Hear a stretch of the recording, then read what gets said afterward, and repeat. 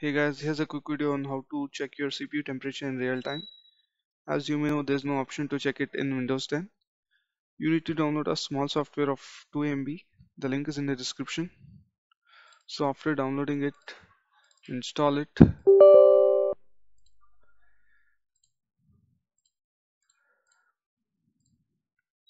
Here, uh, uncheck this box. You don't need any extra applications.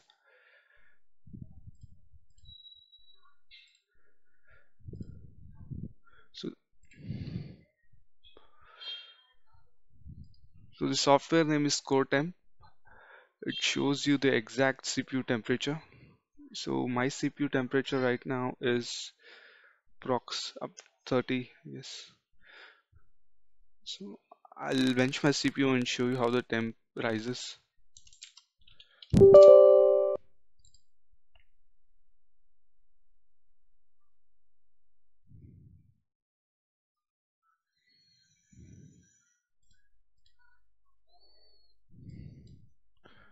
So here's the same CPU.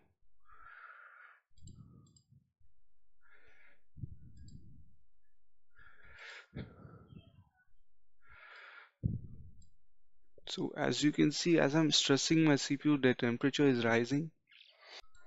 So by using CoreTemp, you can check your uh, CPU temperature in real time. So that's it for this video guys. Thanks for watching.